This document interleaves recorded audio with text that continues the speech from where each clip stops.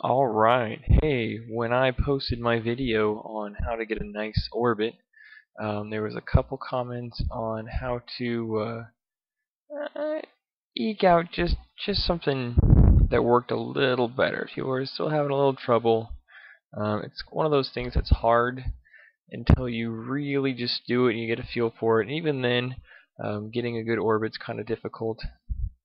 Um, so right here, I am going to have a video of an orbit that I did recently today for the purpose of uh, showing you a nice, uh, very circular orbit. Um, and so if you see my mouse bouncing around as I'm playing the game, I'm kind of pointing out things, what I'm actually thinking about and doing, uh, just to bring your attention to things. And so uh, uh, this rocket is very simple, just a, uh, a double single stack at the top, three double uh, stacks at the bottom, and then a couple solid boosters to get me in the air. Um, right now, I just pointed out that uh, I just finished half of my uh, second stage, and I'm still heading up, but I'm going to get to about uh, 10 uh, to 15 kilometers, and um, at that point I'm going to lean it over and just start start edging it over. Of course, atmosphere is at 35 kilometers approximately.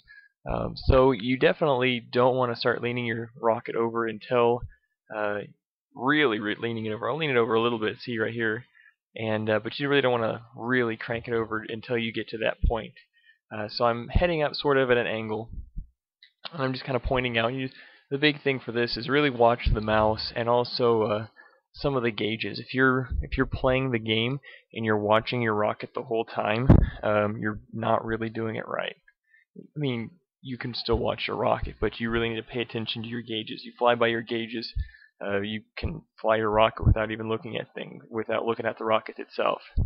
Um, so here I I dropped my uh, uh, second stage, and so we're on the final stage of this, and we're gonna just kind of coast through this. You can see here we just hit 35 kilometers, and so I'm gonna really crank this thing over because, um, as you can see, if you look right up at that uh, uh, gauge at the top. Well, I'm pointing at the gauge at the bottom, but if you look at the gauge at the top, we're still flying up high. Um, and so I'm actually going to throttle down a little bit because we're still accelerating upward.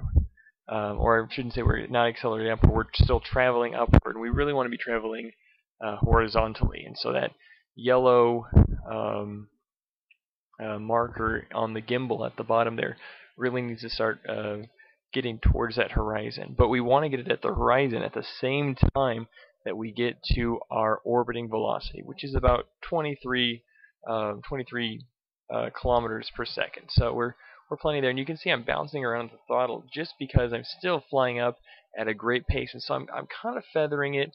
I want to get to about to to 15, 16 kilometer, or excuse me, 15 to 1600 uh, meters per second. And the reason why I'm doing this is still because I'm flying upwards, and so I want to get rid of a lot of that momentum before I accelerate again. If I accelerate to my proper velocity, um, I'll still be going up too much, and I'll have kind of a funny looking orbit. And so I'm just going to let myself ease in there. And so look at that uh, part. The we're looking at the throttle. Um, the uh, speed at which we're going.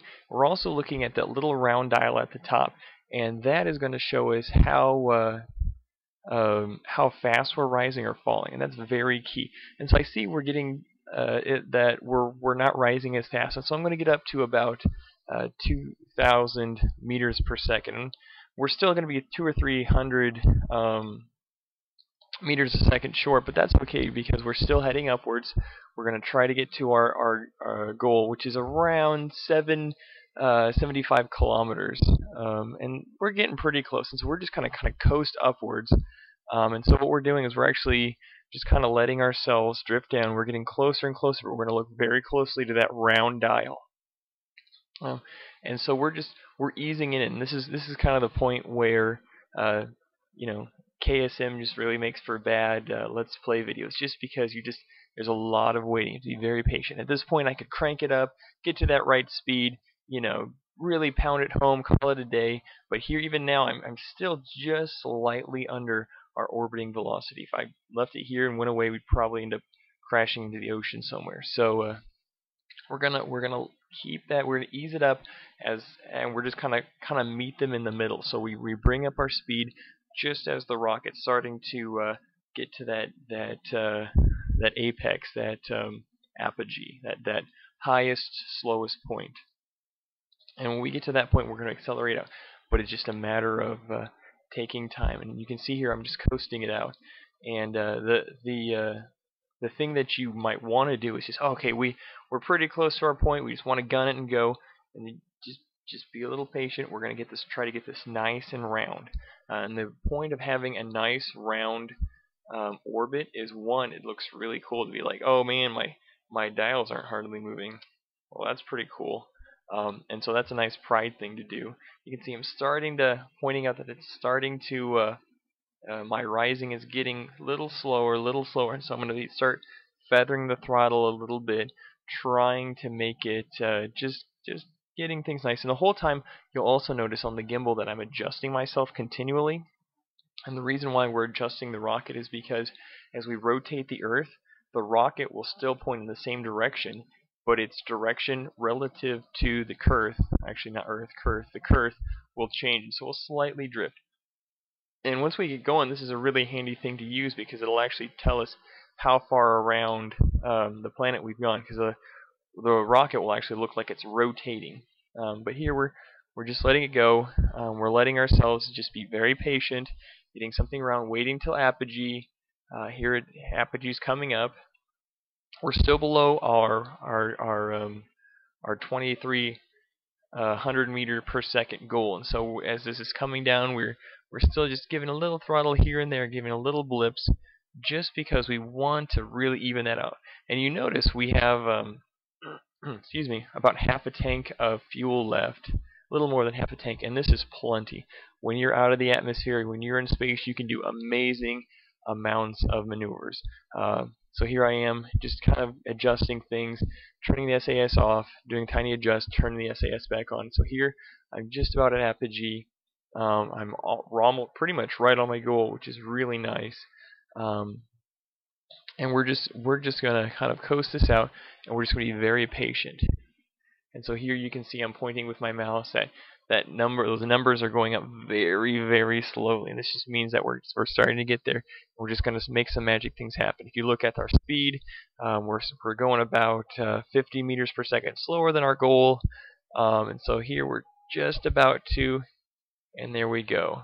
We're, we're sitting at our apogee. Um, and so one of the things that you might do right now is just because we're going too slow, slowly increase up to that proper speed, adjust, relax. There, see, I have a little burst there, just doing some nice bursts.